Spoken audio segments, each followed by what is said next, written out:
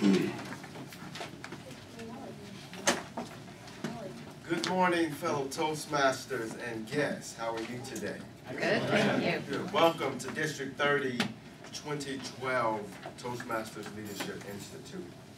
This session, Leading with Confidence, this is the place this morning to learn more about leadership. If you're looking for leading with confidence, you're in the right place. A few housekeeping rules before we get started. If you have an iPad, an iTouch, an iTalk, a Blackberry, Raspberry, please silence it. We need to give the speaker our undivided attention. You should have an evaluation sheet. If you don't have it in front of you, you may be sitting on it. One was placed in each chair. Be sure to sign the attendance sheet. There are three of them that are going around. There's one in the back, and there should be two others going around also. Allow me one more housekeeping rule before I introduce our speaker. At the end of the session, I'll be collecting the evaluation forms.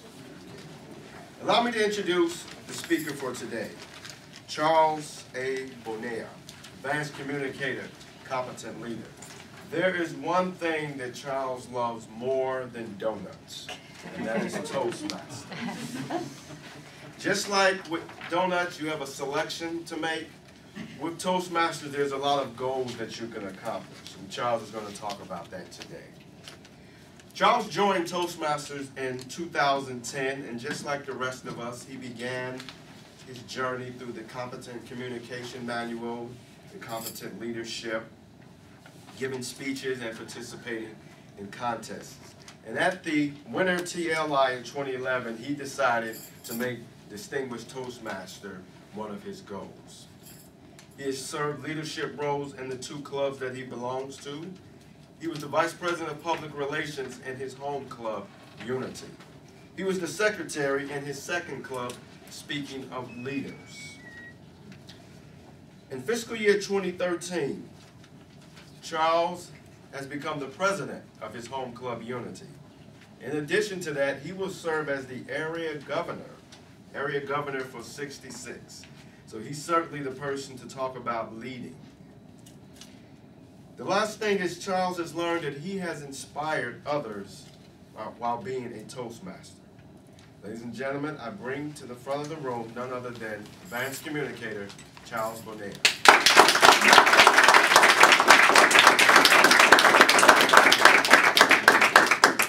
Thank you very much, Lee. Good morning, everyone. Good morning. Good morning. I can honestly tell you that never did I ever envision that I would be standing here speaking to you. Raise your hand if this is your first TLI. Okay. Second? Second TLI? Third or more? All right, fantastic. For those that's the third or more, if you didn't have to attend a TLI for required officer training, would you still attend? Raise your hand if you still would. Okay. Why? Well, because I'm, I always find something new uh, that I can use here, even though some of it's new. Mm-hmm. Okay. And Anyone I meet, I meet people I've seen before, and it's nice to. Okay. Anyone else? Third or more wants to? Yeah. Personal and professional development. Okay. All right. Great. Great. Well, we're gonna we're gonna talk about leading with confidence today. So if if you believe you currently lead with confidence, you're in the right place. Just I'm gonna look to you to share some of your ideas. If you're looking to lead with confidence and maybe you want a slightly different perspective or just a refresher, you're in the right place. And if you're just starting out, or this is your first TLI, and you're looking to get some tools so that you can lead with confidence, you're definitely in the right place. When I joined Toastmasters two and a half years ago, leading anything wasn't in my mind. I had a very simple goal. I wanted to not sound like a meandering goofball. Right? Okay, good. You can you can identify with that, or for better or worse, right? You know how it goes. My first club, you know, these first few roles, leadership roles, accountant, grammarian, evaluator. This was me. Uh, you had you had 27 so's, 31 ums, 16 you knows. You had 12 anyways, and uh, you you had 19 ands, 12 repeats, and and one big butt. All right, maybe maybe that didn't come out right. So much for being a meandering goofball. right? But as as I went on, as I gave more speeches, took more leadership roles, I started to think about values. I started to think about values, and that is really what is at the core for all of us. Pretty simple values. I'm not going to say I didn't have values, but I am going to say that I didn't really think about them. I didn't clearly define them. However, what I learned and attending TLIs and watching other speakers, I learned that values, once you define them, they're like iron filings. You know, the, you've heard the, the saying, iron sharpens iron. When you clearly define your values, you're going to you're going to attract those like things. You're going to look for, for different things. But again, I hadn't I hadn't thought of that. When I first joined Toastmasters, I had the great fortune of attending a division contest. One of my first clubs was down in Florida. and that was, for me, an eye opening experience. The speaker who won gave this amazing speech about the lessons that his mother had taught him. What came across first to me was he was impeccably dressed. And for Florida, that's in the summer, that's amazing. You know how hot it is out there. Just visualize palm trees, sunshine, and then that heat that hits you when you get out of the car. This guy didn't have any effects of that. A crisp white suit, a shirt and tie. His tie was knotted perfectly. I mean, he could have walked out of, uh, you know, a, a catalog, a GQ magazine or something. But his speech was every every word, every inflection, every hand gesture accentuated the points that he was trying to make. And that had a deep, deep impact on me. It resonated. The fact that I'm relating this to you today is, is a testament to that. Wow, you know, will, will I ever get to be that good? I'm just glad that I got to see that right out of the gate. So when I came here and began TLIs and visiting other clubs, I looked for Toastmasters to emulate. Now, how do they do it, and how can I how can I uh, do that? You with me so far? Is this you know kind of do the same thing? That's that's why one of the things I did was observe, mirror, repeat. Observe, mirror, repeat. And isn't really isn't this something that we did when we were children? We followed the examples of our elders. Sometimes good, maybe some not so good. There's lead by example and there's learn by example. Maybe there were some of our elders whose example that we didn't want to follow, but still, it holds. Observe, mirror, repeat. And that was getting me there. I was doing all right, was progressing through my CC manual and my CL, but I still hadn't defined my values, so there's a little bit of this meandering going on. But that's okay, because Toastmasters being totally new, I'm, I'm learning new tools, ways to express myself, ways to organize. So observe, mirror, repeat.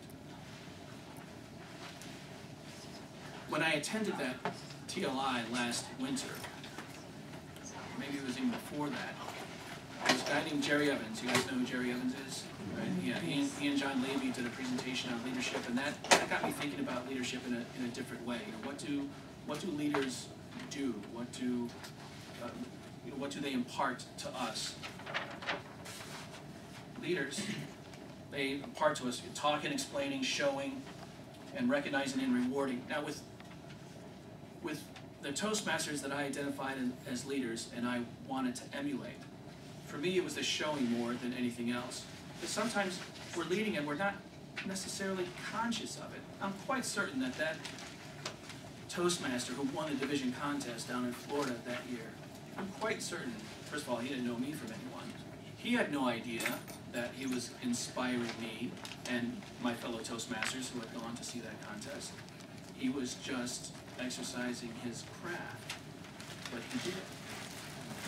And isn't that what other accomplished Toastmasters do? Who are who are the Toastmasters that think about this? Who are the Toastmasters that you have identified that you want to take, you know, something from little bits and pieces? For me, sometimes, you know, when I get nervous, you know, I, I visualize. Do you do this? Do you visualize a Toastmaster and maybe it kind of calms you down? I would love to be, I would love to have that relaxed, easygoing confidence of Ron, my fellow Toastmaster here. He's, uh, he's well, there you go, see?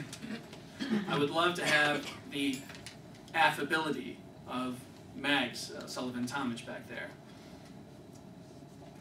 If I could have the regal presence of someone like Barry Mixon, and certainly his voice, wow. The exuberance, the, the inexhaustible exuberance of someone like Pres Vasilev, and the cheerful, the cheerful joy of Joan Moore. These are all people that, or some of these people you're aware of, right? Well, uh, Barry and Prez have sessions right after this, so you have to flip a coin as to which one you want to see, and Joan has uh, a session later in the day if you want to see and, and take a look at those styles. But those those are those are the leaders that I that I look to, and I try to to learn from them. So talk and explain and showing. To get back to values, now with my CC and meandering through my CL, competing in a few contests, then I started thinking about leadership and what can I do? What can I do to get better? What can I do to start focusing on that? How many of you would say that joining Toastmasters, at least in the beginning, working on your CC or CL, it's like learning to ride a bike? And the CC and CL, that's like your training wheels, right? So the more you go through that, the easier, it, well, maybe not easier it gets, but you become more comfortable. You build your confidence, you gain competence. So once you get to that point, you start thinking of, you know, how, how can I make this better? And that's what I, that's when I started thinking about, you know, values, what are my values? One of the things I did then was, I looked them up, values, what are values? And I know it's, it's okay that you can't necessarily see this, it's not the point. I took twelve, I took twelve values that resonate with me. Some of these I currently think that I do okay with, others I want to become better. Now, why, why twelve? Anyone, anyone guess? Take a guess, anybody? Okay, that's great, that's great, exactly. So if I wanted to, my values, and again, you know, accountability, vitality, humor, service, economy, these are just, these are mine. Choose whichever apply to you. Then if you want to, since we're approaching a new year, a new Toastmasters year, if you wanted to, and I'm still on the fence about this, I may do it, I could choose one of these to focus on each month throughout the year. And then sharpen, sharpen my skills, sharpen my leadership. So we've talked about observe, mirror, repeats, characteristics of leadership. Where do we go from there? Goals. Goals. Define, define a goal, plan. Joan Moore has the mantra, plan the work, work the plan, and you, you've heard that, right? Do it. My thing is, do it by sticking to it. Evaluate and repeat. Which of these five would you say is the toughest? Defining. Defining, okay. Anyone else? Evaluate. Evaluate? Repeating it. Repeating it, okay. All right, wow. Totally not what I would have expected. Do it. There you go, there you go. All right, thank you very much. Do it by sticking to it. I mean, come on. How often? I mean, every New Year's, you know, we say, you know, I'm gonna eat less. I'm gonna eat more of the right foods. I'm not gonna drink so much. I'm gonna complete my CC, my CL manual. And first few months, it's going great, and eventually, something always, it's the same sort of thing when you, when you have a speech to write, right? All of a sudden, everything else becomes more important. You know, American Idol, Rizzoli and Isles, Law and Order Marathon, the game is on, right? Do it by sticking to it. Defining, what's the difference between a state, this statement? I wanna take a vacation, I wanna take a vacation in Cincinnati. Well, first of all, if you wanna take a vacation in Cincinnati, you've probably waited too long to take a vacation, right? Uh, Is anybody here from Cincinnati? All right, good, I'm safe, I'm safe there. My backup was Chillicothe, Ohio. But vacation, broad, Cincinnati location, very specific. That's, a- that's a goal that you can define, and I understand what you're saying, the most difficult one is defining the goal, you know, where do we start? Keep it simple. How many here are working on their, their CC manual right now? Okay, all right. Of, how many of you are within the range of, uh, the first three speeches? Okay, all right. Do you, do you have a goal as to when you'll complete your CC? Just any, any, any of you who are, no? I'm, I'm not saying you have to, it's not necessarily a bad thing, but just kind of, and that, and again, that's the whole point of Toastmasters, is it's, it's self-paced. I didn't, when I joined, I didn't have a specific goal of when I was going to complete my CC. That came later. It took me thirteen months to complete my, my CC, but it took me two years to complete my CL. Has anyone had a similar experience? How many of you has, it's taken longer to complete your CL than your CC? Okay, alright. Uh, how much longer, how, how long did it take you to complete your CL? I'm still in the process, Still in the process, okay, anyone else? Still in the process. Still in the process, okay. What's, what's the biggest uh, hurdle, I guess, in, in progressing in your CL? Being officer and then doing like the webmaster and all Okay, alright. Now, how many of you are like me, and for several meetings, maybe you fulfill the role, but you haven't brought your manual? When I, when I first joined Toastmasters, I went to meetings for about three to four months. Bef- I mean, and sometimes I even had my CL manual with me. I just didn't get everything signed off. For me, the, the CC was, was more important. Now, eh, again, to get back to defining goals. Is there anyone here who's taken longer than thirteen months, maybe longer than two years to complete a CC? Oh, wow, okay, all right, uh, how long? Ten years. Ten years, wow, wow, okay. Anyone else? Oh, about eighteen months. Okay, all right. Four years. I don't feel so bad after this gentleman said it took ten years. I thought I was the worst. This is the benefit of TLI, you realize you're not always.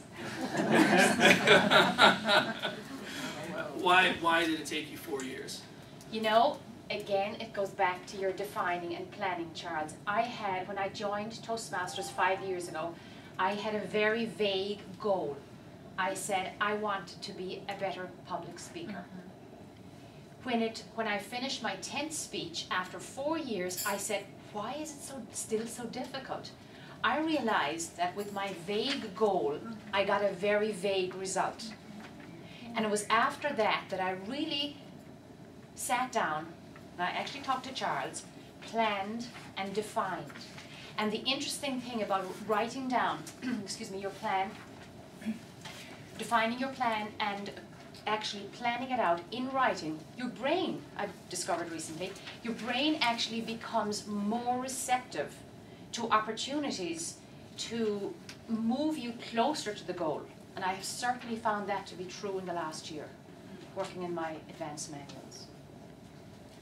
Has anyone else had a similar experience? Yeah, Who who said that? I did. You did? Yeah. Same thing, very Same vague. Become a better public speaker or networking, you know, a better networker. Mhm. And that was about it. Okay. Yeah. Quick story, last, well, early this Toastmasters year, I had completed my CC, and then I wanted to complete my, my ACB. And then with my second club, is there anyone here who belongs to more than one club? Okay. How many, how many clubs? Just two? Anyone, anyone more than two clubs? Just two. Anyone more than two clubs? Okay, that's, yeah, two, two is plenty for me. But for my second club, they, they wanted, for the DCP, they wanted somebody to complete a second CC, and I said, well, you know what, I'll, I'll give it a shot. It never occurred to me. Did it ever occur to you that, that you could, if you wanted to, that you could do a second CC? Yeah, okay, it, I, it didn't, it, it didn't well, gee, why, why not?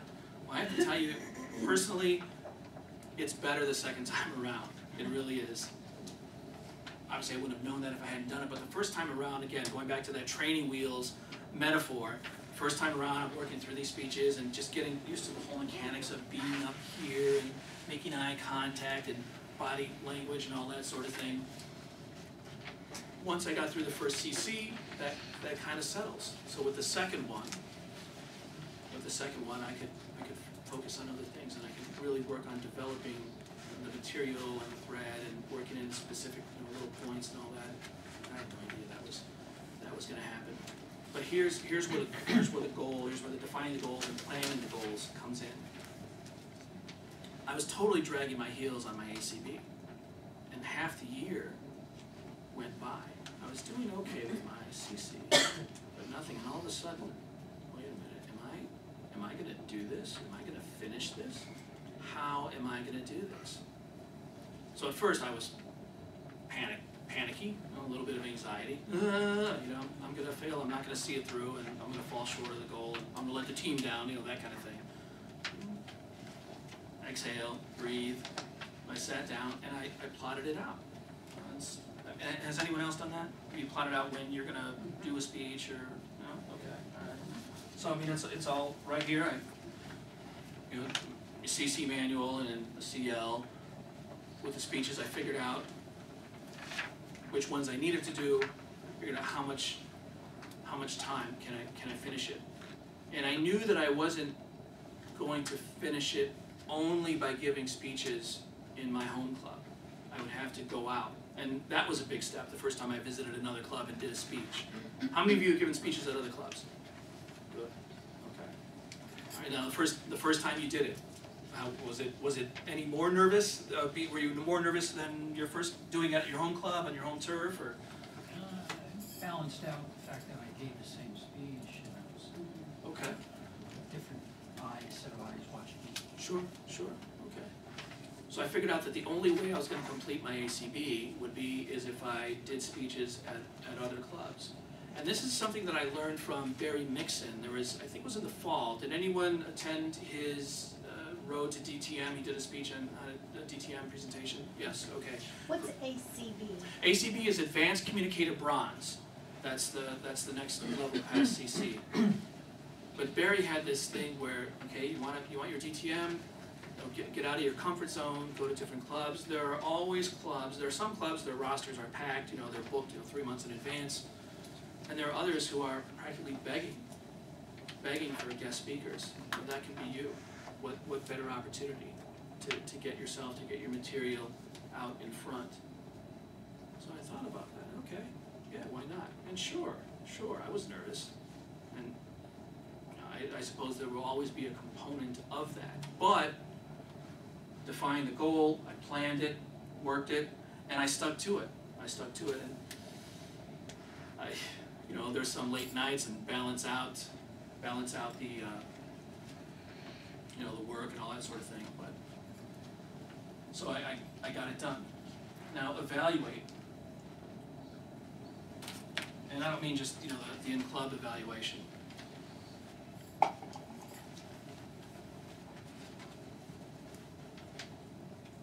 How many of you currently do this, whether it's formal or informal? Let's say, how many of you do this informally? You just kind of keep it in your head? Okay, all right. Have, has anyone else really kind of formalized this, set a goal and planned it out? Great, great. How, tell me a little bit, how did you do that, or? I got spreadsheets, I'm a spreadsheet guy. And basically put together a spreadsheet, I, at the beginning of the year, I'll set my goals, and then what you gotta do is you set out the plan for how you're gonna accomplish them, when you're gonna do them, you chart out the months that you're gonna do what. To, to basically, cause I got a number of goals, there's business, profe- you know, professional, personal, um, and, and, uh, and, and, uh, and, and work around the house, that's another, like, section, sorry. So I It's separate it's them like all out. an and Excel then with it- different it's like- tabs, yeah. right? Yeah, exactly. Yeah. How long have you been with Toastmasters? I, I think it's going on my third year, Oh, fantastic. What, uh, what's your education level at Toastmasters? uh, CC. Okay, all right. What's your, what's your next goal? You're, you're doing ACB and ALB? Uh, yeah, I'm on that now, I'm, on- it's basically five, five speeches a year. This year is gonna be five speeches and complete my CL. Nice, okay. Great, great. Have you chosen your advanced manuals yet, the, the two? Yeah, I already have them, I'm on my third, I'm, I'm basically through the beginning part of this, and it's, it's not based on Toastmasters year, it's based on calendar year. So it's, I've already done three speeches, I I need two more to complete the, the, uh, one, one, one book in the AC. How, how long did it take you to decide which manual you were gonna do? It's pretty simple, because when I first started Toastmasters, it all relates to my job. So it's kind of like Okay, so professional definite development. yeah. It's, it, it, I chose interpersonal communication, Okay. and, and I think it's, um, management speeches or something like that, the, the other one I chose was. I'm only going through the interpersonal communication right now. That one scares me. That one scares me. Well, it, it's, not it's very, yeah, it's not very hard, it's just, um, for me, it, it's hard for, to count on other people to, to come and, and produce, and, cause you gotta have the role playing for that one. It's all based on role playing. Right, right. Okay, so how many of you, uh, thank you, thank you very much. So formally, and then how do you, how do you evaluate? How do you, it, more, more than just the success, but how do you review, you know, what you did and what you felt you did well or not?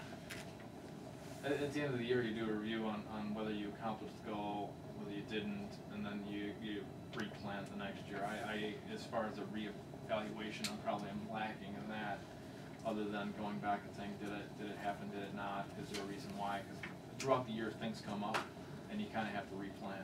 Sure, sure, right, so you periodically review and then you adjust based on the other things that are going on Exactly. in your life, absolutely. And this whole thing about repeating, I, I think I mentioned it earlier, is, you know, it's a, we're all gonna make mistakes, but why make the same mistake? Make a different mistake and have a different experience and learn from that. That's why it's very, very important to evaluate and then repeat, repeat, repeat the process, but you're moving on to a, to, to another goal. All right?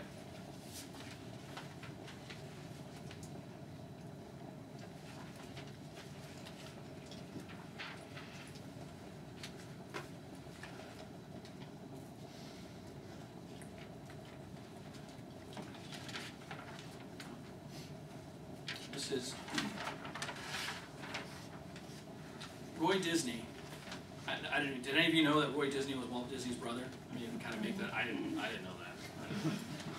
It's not too hard to make decisions when you know what your values are. It's not too hard to make decisions when you know what your values are. Roy, I learned, Walt's brother, but also Roy was the guy who made it happen. Walt was obviously the dreamer, the artist, but Roy was the operations guy.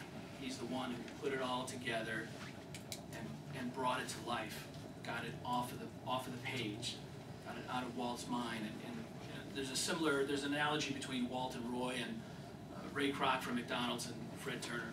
Ray, Ray Kroc had a nickname Danny Dreamer. He was always, when he was a kid, he was always dreaming about opening up some lemonade stand or popcorn stand or something. But you know, when he got to McDonald's, he was definitely the pitch man, but uh, Fred Turner was the guy who made it happen around the world. Roy was that kind of guy. So it's, it's not too hard to make decisions when you know what your values are. And that,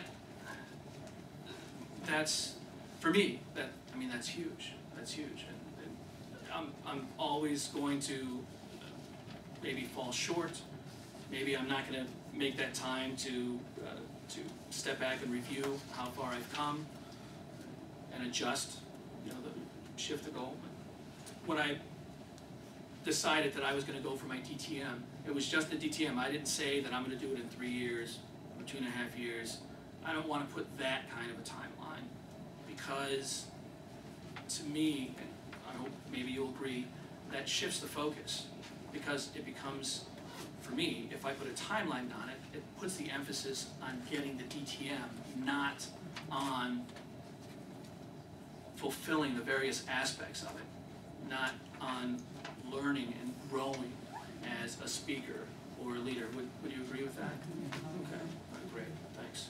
It's nice to know I'm on the right track. But stating that goal, as Max was saying earlier, that I'm gonna get my DTM, that really, that really pushed away a lot of clutter.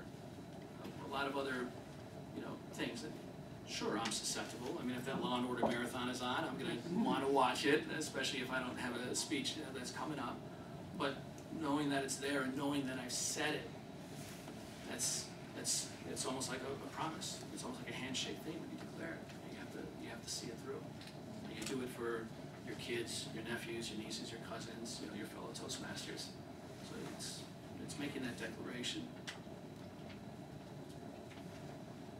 All right, anyone else? Who, does anyone have, has anyone decided to maybe go for their DTM? Great, great. What, uh, what point in the process, did you know right away? Did you, you know, at a certain point in your Toastmasters journey? That long, arduous ten-year journey to get.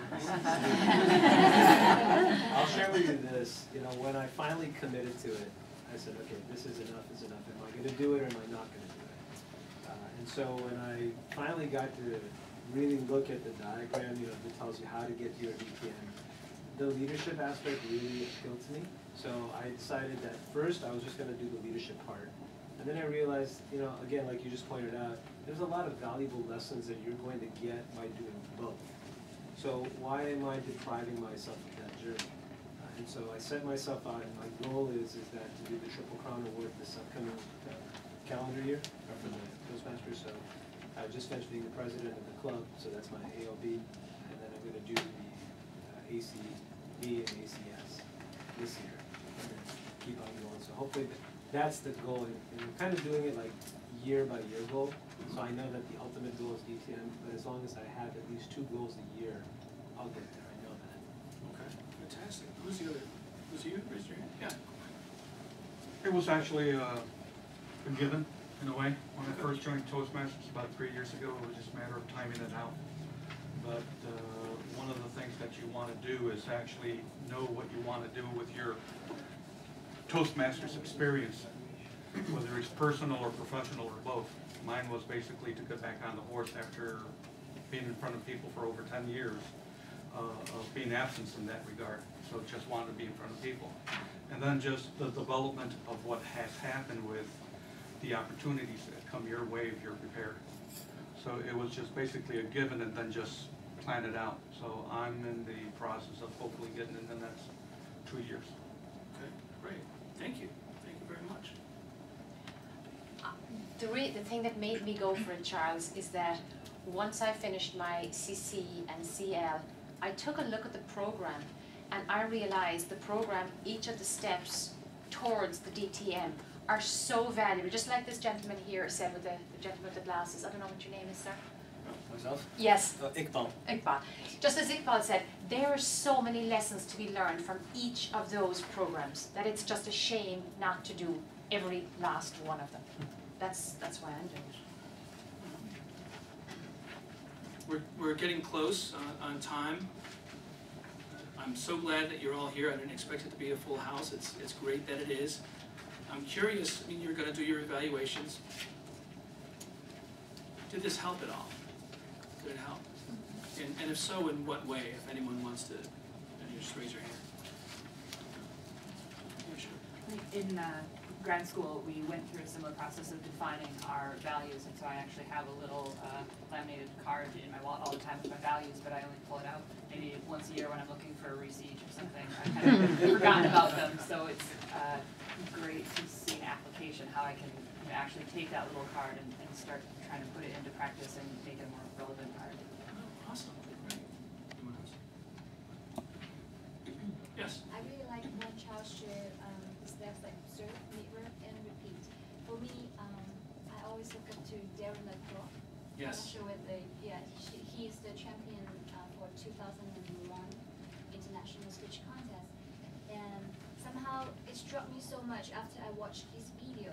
Before, when I was on stage, I felt very um, constricted about my body movement and all that. And after seeing how Darren uh, repeated his preparation, the rehearsal, and how he just expressed himself with the body language and all that on the stage, there's something like open me up, open me up, and then like just like the, the one click.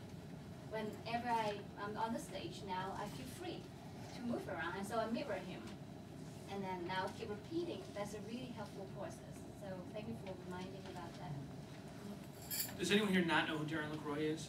I don't. Okay, all right. Uh, Google him, look him up on uh, YouTube. There's a speech that he does, and it's a speech for which he won uh, that, that uh, championship. And it, it's about falling and, um, oh, it's called Ouch, that's what it is. And it's all about that he, he made an appearance at an, uh, just a few weeks ago at Niles Township Toastmasters Club. And he spoke about his whole path, et cetera, et cetera. It, it was an, it was an amazing thing uh, to see.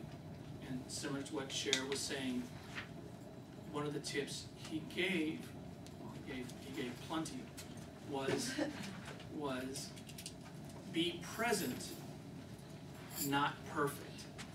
And for me, how many of you write your speeches out? I do. Okay, great. Then, and that's exactly what I do, how many of you then really try to memorize it and then coordinate what you're doing, and then when you get in front, things fall apart a little bit, that's, that's what I do. That's why when Darren said, be present, not perfect, so do your rehearsals, definitely rehearse, and get, know, like my uh, division contest uh, winner back uh, down in Florida, he really had, and he, he didn't look rehearsed. It all looked very natural, but very polished. But according to Darren, be present, not perfect. You know the material. You have to trust yourself enough to let it go and, and let it go through you. Only if you practice. But yes, of course, right, definitely, definitely, right, the more you practice, and certainly, certainly, the more you practice, and what has helped me, exactly, is when I'm doing a speech and I'm working on my movements, the actual, the transitional movement, or if I'm using my hand or something, that cues me and that reinforces what's coming next in the speech, it's that entire thing, that's why it's important to combine your physical, your physicality with what you've, what you've written, plus, the more you speak it out, the more you're gonna change it for the audience, for the venue, good, good. I spend more time writing than I do actually practicing the speech. And so it shows when I get up there, I'm like, man, I had such a great speech written, but I lost it because I didn't practice. How many of you videotape yourselves? I don't. No? That's, that's one of my resolutions for the new Toastmasters year, to begin videotaping myself, because that's where it's really gonna come through. And I'm a little bit nervous about that, but, eh, you know, I guess I'll get through it. Any, yes, yes. What was Darren's full name? LaCroix, L A C R O I X. All right. If anyone has any other questions, if not, uh, just please, um, I'm so glad you guys came. I appreciate it. Fill out the evaluation form and enjoy the rest of your TLI.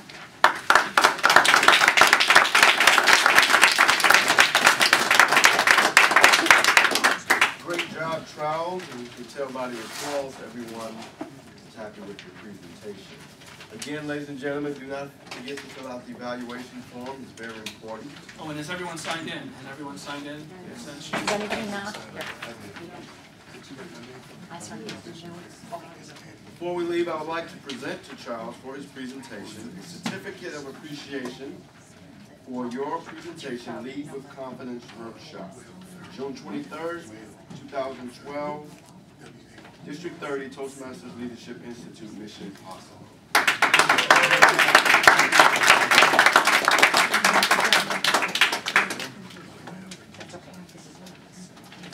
Finish your evaluation, sign-in sheet. Charles? I'll take the evaluations. While we